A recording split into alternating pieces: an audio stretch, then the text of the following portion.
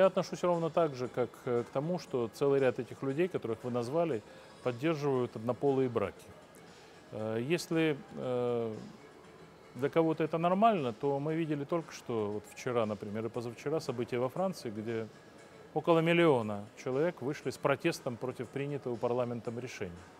Я считаю, что вся вот эта пропаганда распущенности и гомосексуализма для нашей страны по целому ряду причин противопоказана.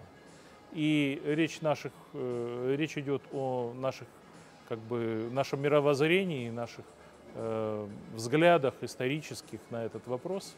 Речь идет о своеобразии нашей страны, которая в данном случае никак не приемлет на самом деле э, открытого глумления над э, семейными ценностями. Вы знаете, что принятие законов о легализации однополых браков уже привело к тому, что мы э, сокращаем возможности для усыновления и удочерения э, детей за рубежом.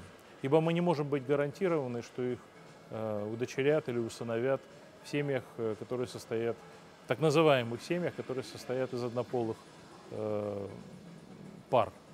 Поэтому э, мне кажется, что э,